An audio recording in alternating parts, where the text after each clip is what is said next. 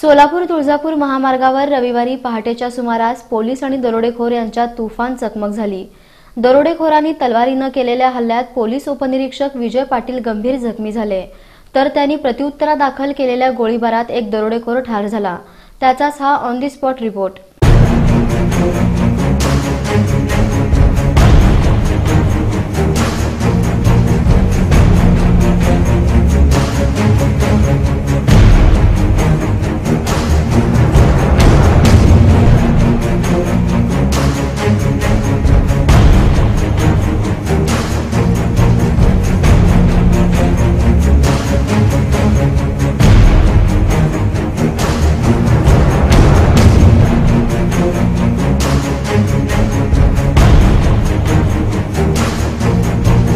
हा थरार सोलापूर तुळजापूर महामार्गावर रविवारी पहाटेच्या सुमारास घडला.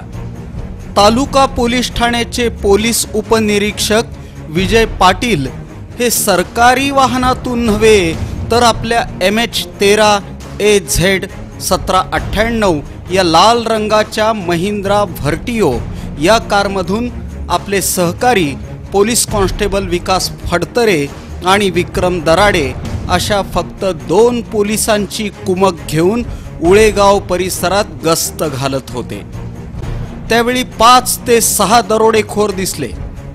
पोलिसांनी त्यांची चौकशी करण्यास सुरुवात केली.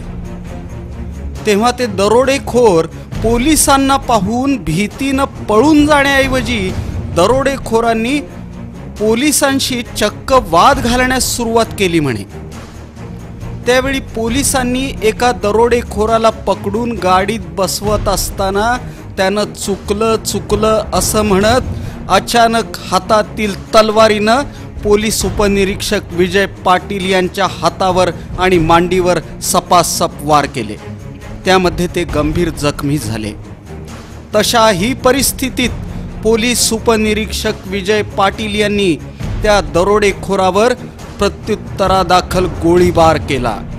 त्यात तो सुद्धा गंभीर जखमी झाला. त्याला सोलापूरच्या शासकीय रुग्णालयात तात्काळ उपचारासाठी दाखल केला असता उपचार सुरू असताना त्याचा मृत्यू झाला. तर इकडं गंभीर जखमी झालेले पोलीस उपनिरीक्षक विजय पाटील यांना सोलापूरच्या अश्विनी रुग्णालयात उपचारासाठी दाखल करण्यात आलं. दरोडेखोरांनी केलेल्या दगडफेकीत पोलीस कॉन्स्टेबल विकास फडतरे आणि विक्रम दराडे हे देखील जखमी झाले. दगडफेकीत पोलीस उपनिरीक्षक विजय पाटील यांच्या कारच्या डाव्या बाजूच्या दोन काचा तर पाठीमागील काच फुटली. दरम्यान इतर पाच दरोडेखोर केव्हाच पसार झाले होते.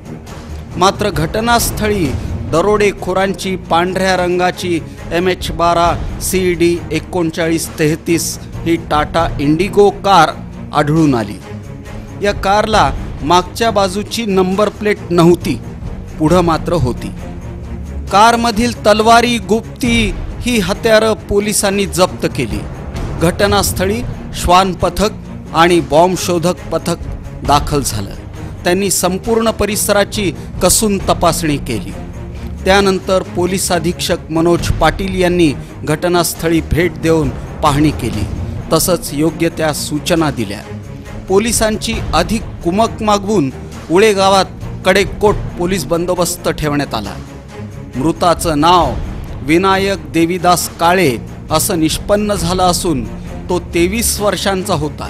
त्याचं शिक्षण बारावीपर्यंत झालं. घटनास्थळी आढळून आलेली टाटा इंडिगो कार त्याच्याच मालकीची असल्याचं आणि कार तोच चालवत असल्याचं समोर आलं. विनायक हा उत्तर सोलापूर तालुक्यातील तळे हिप्परगे येथील रहिवासी होता. मृत विनायक याची बहीण विमल काळे हिनं इन सोलापूर न्यूजशी बोलताना सांगितलं की पोलिसांनी आपल्या भावाकडं दोन लाख रुपयांची खंडणी मागितली. ती देण्यास नकार दिला असता पोलीस उपनिरीक्षक विजय पाटील यांनी गोळ्या झाडून भावाला ठार मारलं.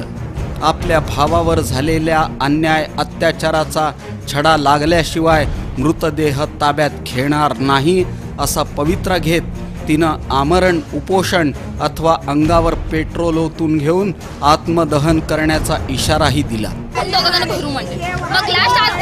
दोघं जण मग त्याने काय म्हटलं? की आता ही पोलीस आहे म्हणते असे दोन लाख रुपये कशा संदर्भात आणले ते काय माहीत नाही. आणि ती फोटो बी मागितले नाही दिलं तर ती म्हण त्याला पण म्हणले दोन लाख रुपये तू द्या. नाही मी म्हटले तू कशा संदर्भामध्ये तुम्हाला पैसे द्यायचं? तुम्ही काय म्हणून बर? तुम्ही आता गोळीबार केला. तुम्ही काय म्हणून त्याला गोळीबार केला? तो आतंकवाद हा टेररिस्ट आहे किंवा कुठल्या गुन्ह्यामध्ये होतो तो त्याला हे केला. आणि त्याला मारता मारता मारून मग गोळीबार केले त्याच्यावर. ती मेल्यानंतर मग त्याच्यावर गोळीबार केली. डोळा व्हॉट्सअपमध्ये फोटो आहे. त्याचा डोळा लाल झालेला आहे आणि एक डोळा आहे व्हॉट्सअपवर फोटो मी सरकारला गृहमंत्र्याला हा जोडून विनंती आहे. माझ्या भावा भावावर झालेला अन्याय जोपर्यंत त्याचा निष्कर्ष लागत नाही तोपर्यंत आम्ही ती बॉडी हात घेणार नाही. आणि तोपर्यंत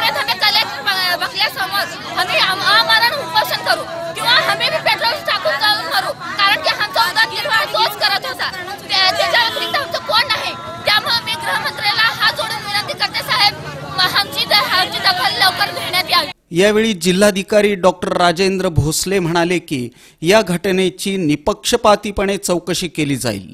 आपल्यावर जो अन्याय झाला आहे तो निश्चितच दूर करू. घटनेचं जे आहे त्याची चौकशी केली जाईल. आपल्या भावना माझ्यापर्यंत पोहोचलेल्या आहेत. मी आत्ता चार वाजता जे आहे पोलीस अधीक्षक नंतर जे पोलीस प्रॉसिक्युटर आहेत त्यांच्याशी मी चार वाजता बैठक घेतो इथं. त्याच्यामध्ये आपले एक दोघं तिघं जे प्रतिनिधी आहेत आणि जे मृताचे जे नातेवाईक आहेत त्यांच्याशी मी बैठक घेतो. आपल्यावर जो काय अन्याय झालेला आहे त्याची चौकशी करून निश्चित कारवाई केली जाईल अशी मी ग्वाही देतो. मी आपल्या सर्वांना विनंती करतो की अशा मार्गाने प्रश्न सुटणार नाही. आपल्यावर झालेला अन्याय जो आहे त्यांची बाजू जे काय आहे त्या बाजूचं ऐकून देतो मी आणि अगदी निरपेक्षपणे आपल्या बाजूने निर्णय मी देईल पोलीस आणि दरोडेखोर यांच्यात झालेल्या या थरारक चकमकीमुळं उळे गावात तणावाचं वातावरण निर्माण झालं. संबंधित दरोडेखोर हे सोलापूर तुळजापूर महामार्गावर थांबलेली वाहनं हेरून त्यातील डिझेल पेट्रोल चोरून काढत होते अशी ही माहिती हाती लागली आहे.